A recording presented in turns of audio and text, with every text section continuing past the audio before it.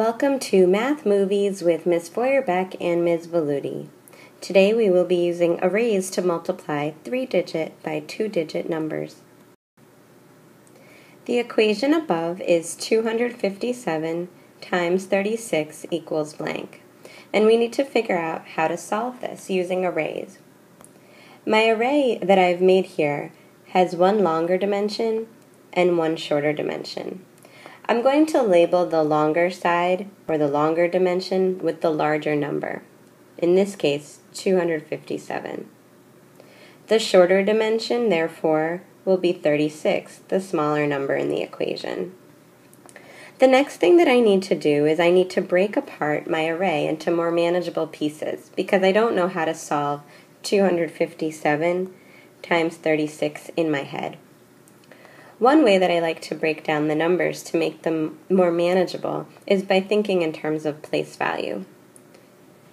For 257, the 2 is in the hundreds place, so the 2 represents 200. I'm going to write 200 to show that that's part of this side. The 5 in 257 is in the tens place, and the 5 represents 50. So I'm going to break apart that side and label this as 50. The 7 is in the ones place, and the 7 represents 7 ones, or the number 7. So now I have one side of my array labeled in smaller pieces. The next thing that I want to do is do the same thing for 36, and I like to break it down by place value. So I need to think the 3 in 36 is in the tens place. So that represents 30. And I'll label it that way. And the 6 is in the ones place, and that represents 6. So the next thing that I need to do is that I need to figure out what are the values of these six smaller arrays that I have just created. What are the products? Let's start here. 200 by 30 is this array. So what I want to do is figure out what is 200 times 30. I know that 2 times 3 is 6, and therefore 200 times 30 is 6,000. Moving over to the right, this array is 50 by 30. I know that 5 times 3 is 15, so 50 times 30 is going to be 1,500. My next array is 7 by 30. And I know that 7 times 3 is 21, so 7 times 30 is 210. On the bottom here, I have an unlabeled dimension. But I know that that's the same as the value above, 200. So here I have 200 times 6 to figure out the value of this piece. All right, I know 2 times 6 is 3, and 200 times, I'm sorry, 2 times 6 is 12, and I know that 200 times 6 is going to be 1,200, or 1,200. Moving over, I have 50 by 6.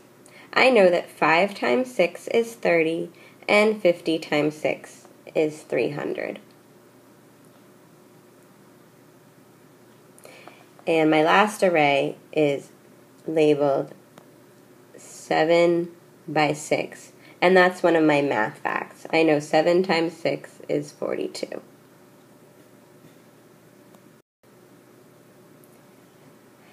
Now here I have I have depicted the same array that was on the page before with all of the parts labeled and I've also decided that now what I need to do is I need to add up each of these six arrays in order to find the product of 257 by 36. I need to know this whole entire space.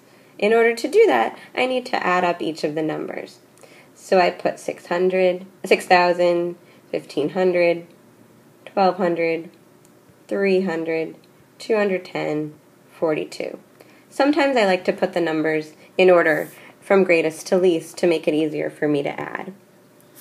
As I go ahead, I'm going to add them up um, by place value. So I'm starting here in the ones. I have two ones. I have five in the tens.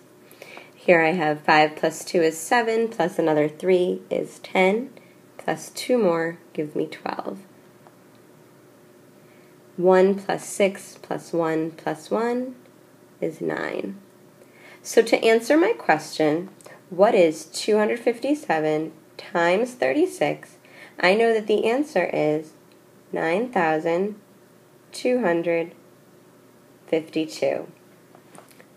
And that was one way that I could break up the array. There's many ways to do it.